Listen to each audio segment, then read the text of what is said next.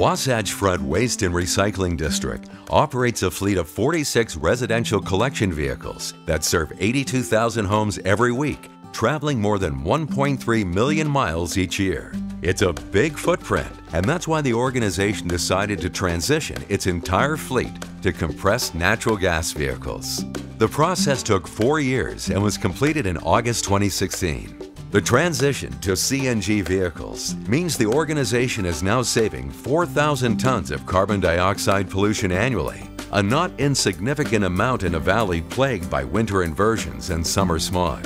Wasatch Front Waste and Recycling serves seven cities and five townships in Salt Lake County. The board overseeing Wasatch Front Waste, which is composed of elected officials from the communities it serves, set as a vision for the district to be an environmental steward for the community Sean Summerhays, Sustainability Coordinator for the district, says Looking to the future, Wasatch Front Waste is working to improve the efficiency of its routing in order to reduce overall miles traveled